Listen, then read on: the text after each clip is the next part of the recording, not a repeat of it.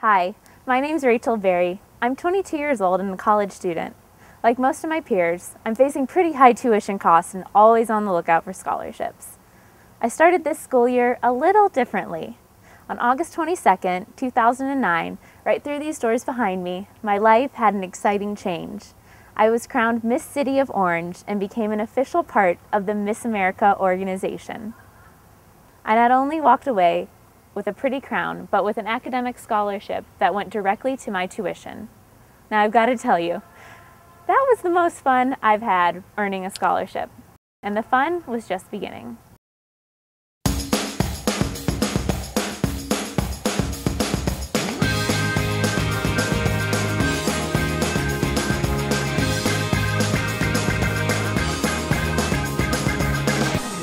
Welcome to Behind the Crown.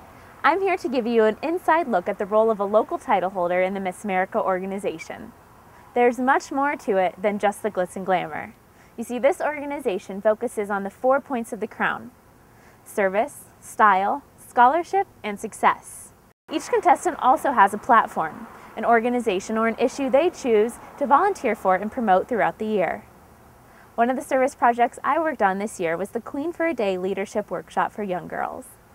Let's take a look at this year's event. I want to try to be a teacher and pay attention in school. Study, no cheating on tests, be, and be a good student.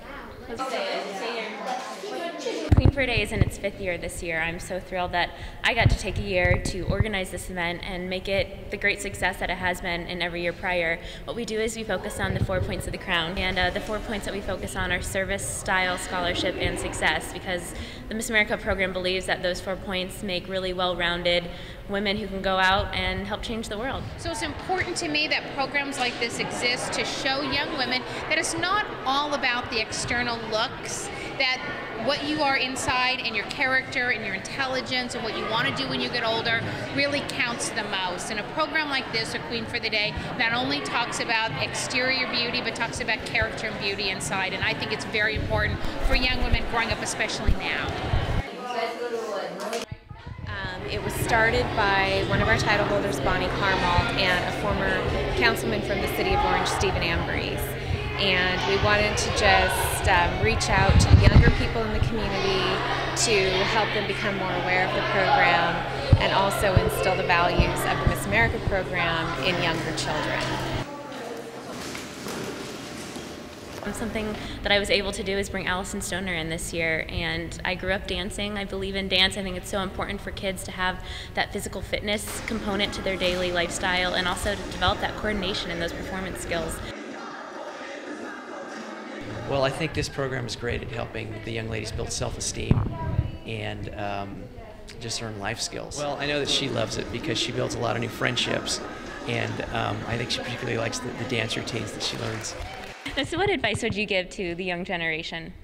Um, for everyone my age and younger, I would just say uh, make sure that you're walking in your own shoes because if you're trying to fill someone else's shoes, you're never going to walk in them right. Um, so you have to be your own person. You all have unique gifts and purposes here on earth um, to fulfill.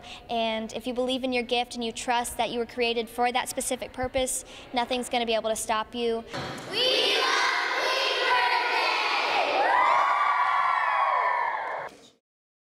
There's a lot of fun that goes along with being a local title holder. As the ambassador to my city, I've been privileged to attend all sorts of community events, from city functions to festivals and fundraisers. This gives me the chance to spread the word about the Miss America organization within the community. And that's why it's important to always put my best foot forward. So now it's time for some style tips. First stop is one of my sponsors, Platinum Strand Salon. They've got all of the latest beauty products and hair experts. I'm joined with Jerry Morrison here. He's a platform artist and one of the expert hairstylists here at Platinum Strand Salon. So Jerry, Hello. I want you to show me some tips. Okay, have a seat. Okay. The biggest thing I can say is products, products, products. I'm a big believer of if you want your hair to do what your hairstylist does, you need to bring products in with. Whatever they recommend. Usually the best way of uh, putting that in someone's hands is usually whatever you put in their hair, you put it in their hand and tell them to take a look at it. And then they usually nine times out of ten be like, oh, well, I need that to do what you just did. So she's already been blown out. Hers pretty soft and straight. You can always just take a little bit, wrap some of it up.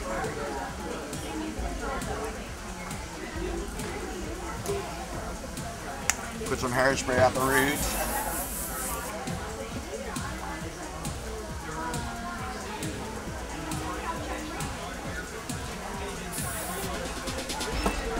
Can's are always a good trick. If you don't have a roller or brush or whatever, you can stick a can in there.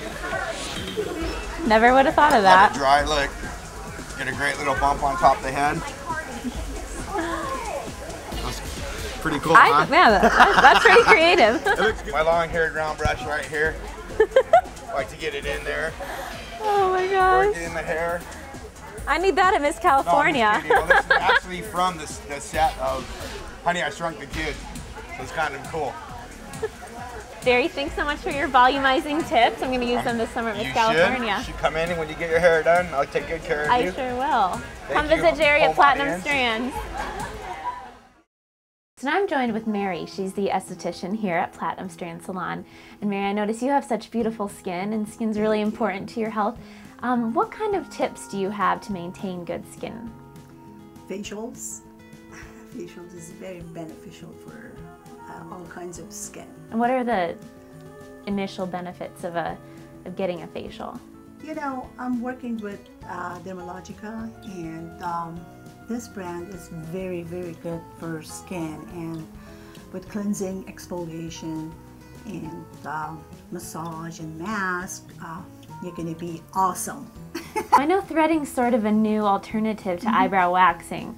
So um, I didn't know what threading was, and I bet a lot of people watching don't know what it is. How do you describe threading? Why is it different than waxing? Wax is hot. Hot. Yeah, I see you got it brewing over here. Hot. Wax is good for whole body except face. It's very harsh for for skin for face. So I recommend threading. Threading is very natural, very soothing, and uh, it's good for blood circulation. And it's not hot. Interesting. So how do you move your hands? How do you Let me learn to do that? you. Oh, great.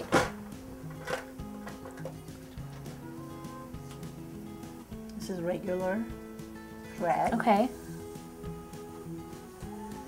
So I do like this. And give me your arm. Uh-huh. me get You have up. hair here. Yeah, here. He's going to come a little closer. Okay. I twist it. And with this part, I grab hair like this.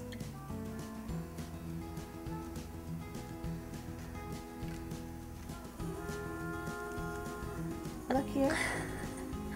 Wow, look at that. It's See? smooth. it was not hot. And it was, was not. and it was fast. Yeah, fast. Yeah, that's not as scary as And the result waxing. is better than waxing.